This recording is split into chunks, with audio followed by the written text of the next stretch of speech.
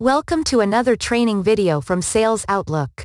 Today we are going to discuss how to get started with Sales Outlook. Sales Outlook extends Outlook to have additional functionality, all Outlook functions are still intact.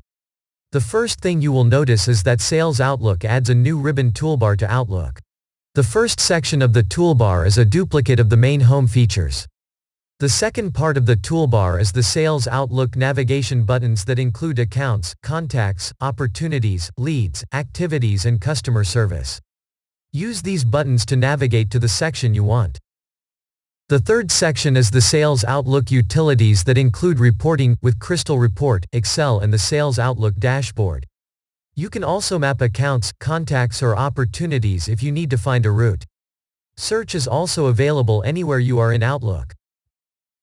The last section is for Outlook views. Sales Outlook uses a lot of views. You can customize views easily to see your data the way you want.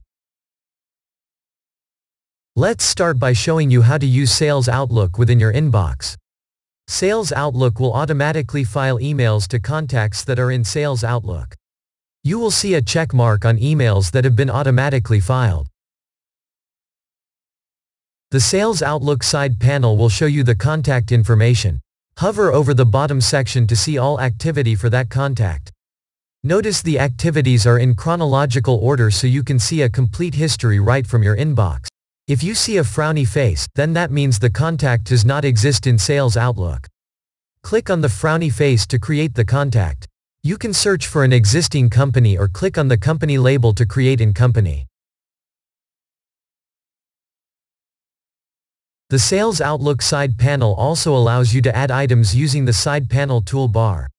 Create a task, appointment, opportunity or customer service inquiry right from your inbox.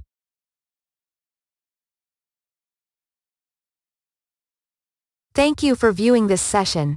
Sales Outlook can be a great addition to your inbox. Please see our other sessions such as working with accounts, contacts, and opportunities or one of our other videos.